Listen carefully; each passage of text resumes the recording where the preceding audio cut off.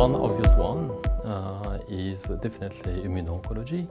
Uh, it has totally changed the paradigms in oncology already. Uh, we, we, are now speaking of cures for metastatic cancer. So this is an obvious one for, from the therapeutic side.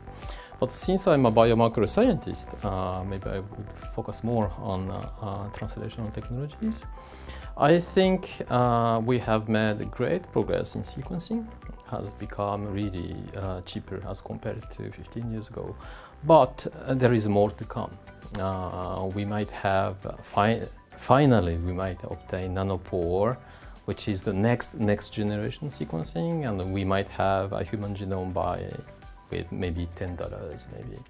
So this is not just about cost uh, research in terms of research effectiveness but it will make uh, personalized medicine uh, far more uh, accessible and affordable and this uh, could have a societal impact.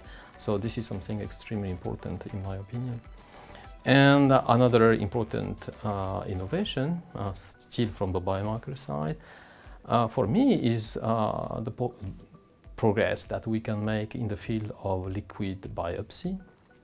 Because currently we have to use either archived tumor sample, which is an issue because this is some sample you take in the beginning of the disease and as tumor evolves uh, either by the natural course of evolution or because you have put some selection pressure because you treated patients and cancer has changed, uh, it's desirable to uh, take biopsy later on, but clinically speaking, it's not always possible.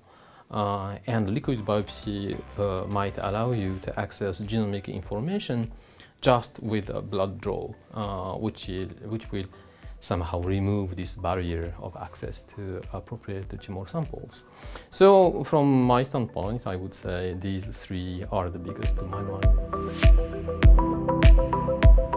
Obviously, to hear uh, from other uh, stakeholders in the area, we have always to learn a lot from our peers, from people from other industries, uh, even from uh, patient advocacy. Uh, yeah, so I came basically to learn uh, and acquire new insights, which will probably help me uh, to further innovate in the future. When we speak of innovation, we often think of scientific and technology innovation.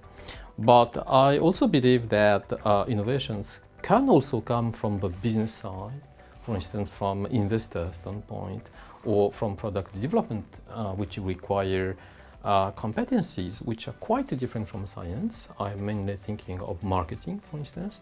But if we want an innovation to become true, to enter clinical practice, we have to think of all that from the beginning.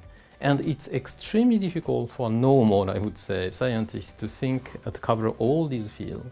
So I would say that all of us have the possibility and some have the duty to contribute to convert scientific inventions to reality and eventually to, to, to value.